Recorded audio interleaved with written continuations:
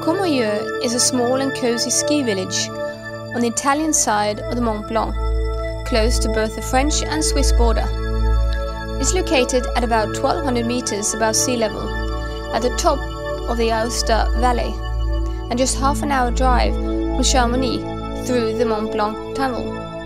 The village is home to about 3,000 inhabitants and a lot of tourists, both summer and winter.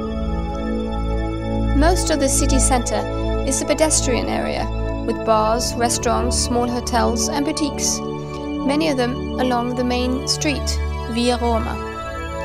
In the summertime, you can also find some great ice cream stores. We recommend an ice cream at the Piazza Borocherel. Here you have an amazing view over the highest mountains in Europe. It's possible to park your car in a huge garage just 100 meters from the entrance of the pedestrian area. In the winter, skiing is of course the main activity. The area has 21 lifts and over 100 kilometers of slopes. During the summer season, trekking and climbing are the most popular activities. From the small village close by Courmayeur, it's possible to take a gondola up to the Pointe Helbronner.